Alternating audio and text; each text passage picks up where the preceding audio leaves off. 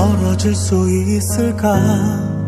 너무 위험한 내게서 멀리 떠나보내야 할 텐데.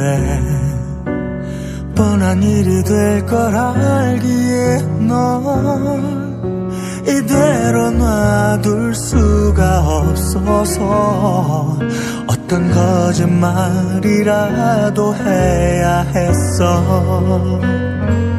제발 이곳을 벗어나 상관없는 사람처럼 다시 우리 마주쳐도 아니 마주쳐서는 안돼